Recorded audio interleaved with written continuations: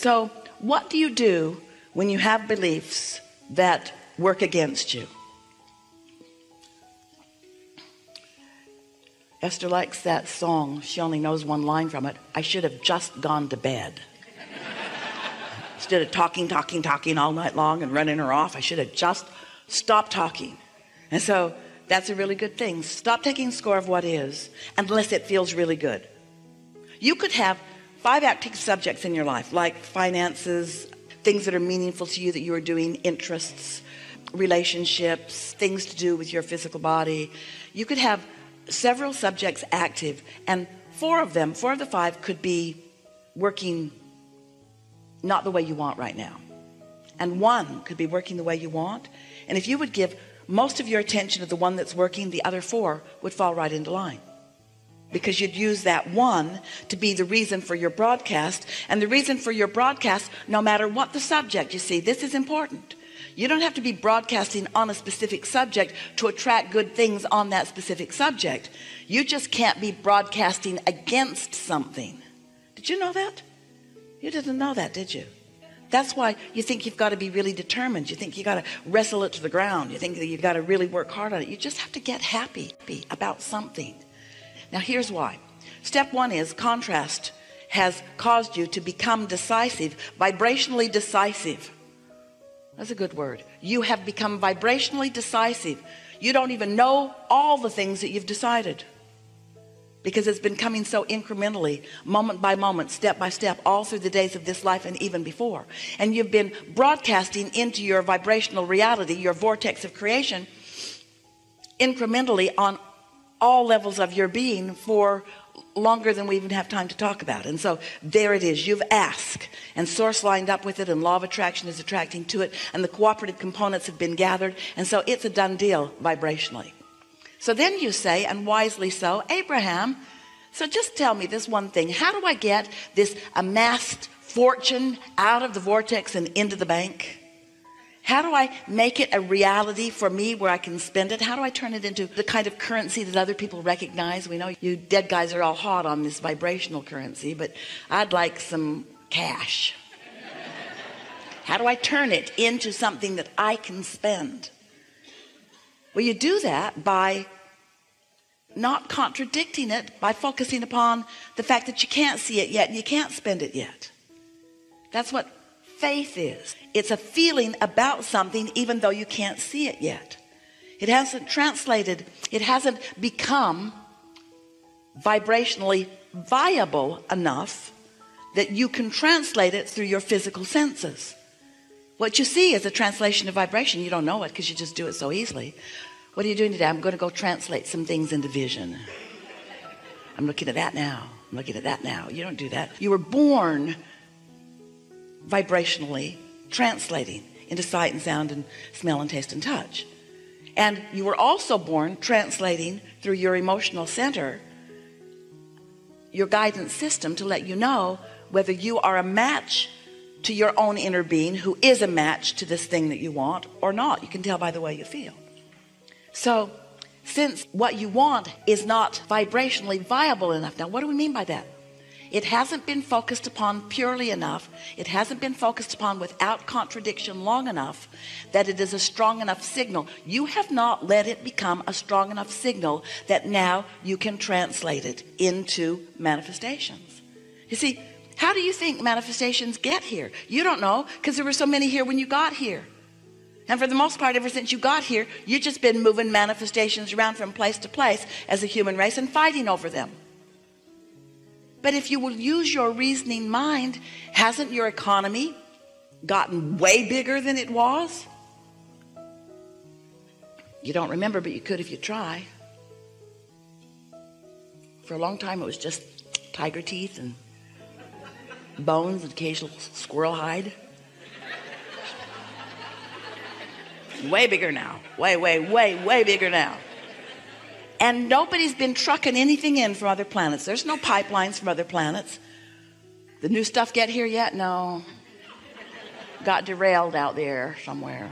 There's nothing that's being trucked in. You are creating it. It's becoming vibrationally viable because you are preparing your receptors to receive it when you ask it is given it is revealed. But the question is are you realizing what has been revealed? Or do you have your I can't do it I can't see it I can't smell it I can't taste it I can't touch it I can't hear it. Blockade up you see. And so oh that was so satisfying to say all of that to you because you heard it didn't you? You are the one that translates the vibration into the physical equivalent. So by the time you have put all of this in the vortex and law of attraction has answered it and your inner being has stood there with it and has become the vibrational equivalent of it and is broadcasting to you and to the universe a signal about it. And law of attraction is responding to that signal. There is a powerful attraction to the things that you have become. Powerful attraction. It is huge and it is done. And then if you are anywhere in the vicinity of it vibrationally which means if you're just happy today for some reason if you haven't remembered not to be happy in other words your cork will float. You can hold it under the water but when you let go it's going to float back up there. So when you stop doing that thing you do that doesn't let your vibration rise your vibration will rise. And every now and again you'll just forget to do something stupid like not let it rise and it will rise. And for a moment you'll get a glimpse of something you want just for a moment. Oh I want her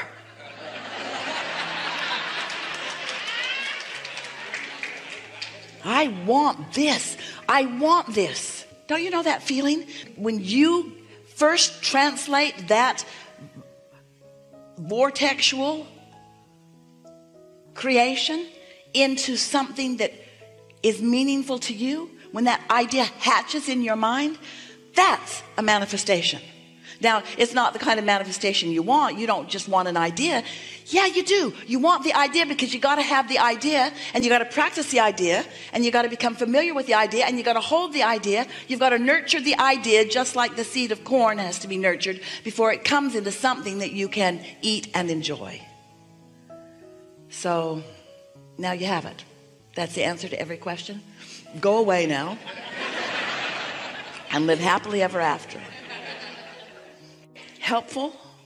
Yes but I have uh, yeah so I really helpful. But I see more clearly what my desire is but it no, just your feels desire was already clear. Your desire could not be more clear. You do not need to work more on your desire. Your desire is so wonderful you will live happily happily happily happily ever after. The desire isn't the part that you want or need to spend one more moment about how do I get more attuned with the desire? It just feels like I'm missing a 5% for now get off of it. Get off of it. Because if you get right on it you'll just keep doing what you've been doing. So you want to step back from it. And the way you get off of it the way you get off of something that you can't get off of when you're obsessed with something and you can't stop thinking about it and you know you're working against yourself get general. Say things like all in good time this was a good experience. I'm getting clearer. I trust the laws of the universe. It's going to be all right. The perfect person is already ready to come to me. I'm just getting ready. I'm just becoming more aware. There's no big rush. All is well. I'm enjoying the process. I love the clarification of the process. Everything's all right. What fun I'm having. Anything that I've spent time becoming vibrationally attuned to causes a really lovely journey. I love that sweet spot. I love that feeling of anticipation. That feeling of anticipation. That feeling of turning a corner and wondering now now maybe. I love that feeling of anticipation that feeling of recognition that feeling of mutual attraction that knowing that law of attraction has put us together not that I have kidnapped this person that feeling of law of attraction putting this together that mutual delicious attraction. Yeah. So you just cool your jets chill out trust be easy. Notice what is working. Notice the components of what's working and why. Two days in a row Esther has put her breakfast card out on her door and she ordered oatmeal That's all she wanted and a banana. And so yesterday the nice man came and he had a big pile of food. It had bacon and eggs and toast and juice and coffee, which she doesn't drink. And he set it down, and Esther said, Hmm, all I ordered was oatmeal and banana. And he said, She must have made a mistake when she checked it in. And Esther said, You know, I thought about just taking a picture of that little card I put on the door, but I didn't do it. And so Esther laughed about it. And then last night she filled out her card again. And again she thought, I'll just take a picture of this. And she thought, ah, there's no possibility she could make a mistake two days in a row. so breakfast came again, and same thing. All these things that she didn't order. But now this man has become wiser. And so he went to get the actual card and he brought the card to Esther. And there was what Esther checked, but there were the other things checked too. And Esther said, Somebody's having fun with my card on the door. Somebody's having fun with my card on the door. Somebody's having fun with my card on the door. So, Esther's still working through this. In other words, she came to realize as she was eating her oatmeal that she may have a control issue Who would do that. And then she said to the man, she said, see my check marks? How they're light. This is the pen I used. See how they are? How they kind of go this way? And see how these are straight up and down? He said, oh yeah, I see that. Truly, you've been sabotaged. By one of the fun loving otters of the universe, is what Esther is thinking, because there isn't anything Esther enjoys more than fun. And Esther's a little bit of a prankster. So watch your cards on the door. Just watch them. You're going to get way more breakfast tomorrow than you want. So, what we're getting at is even though someone did have fun with Esther's door card, no question about it. And when you're all gone, we'll tell her which one of you it was. There's no question in Esther's mind that she's the attractor of this. It's illogical. She can't reason it out, but she does accept that she is the attractor of this. And as long as she's accepting that she is the attractor of this, then she can have any way she wants in time. If you've been listening to us for a while, you've heard a lot of breakfast stories. There was the strawberry jam phase where no matter how big they wrote it on the card, the strawberry jam never came. And when they would go back to the office, because we would blab the story, cases of strawberry jam were showing up in Texas. Cases of little bottles of strawberry jam just kept showing up. Esther could open a strawberry jam store. So much strawberry jam showed up in Texas. And then there was the can't get the eggs cooked soft enough era. And then there was bring my own pot in my own suitcase and cook it on my own plate so I can get my own damn breakfast the way I want it to be era of Esther's breakfast. And then there was the bring a food bar because they're not going to deliver it during the window that is right. Breakfast is hard in hotels. That's Esther's belief, you see.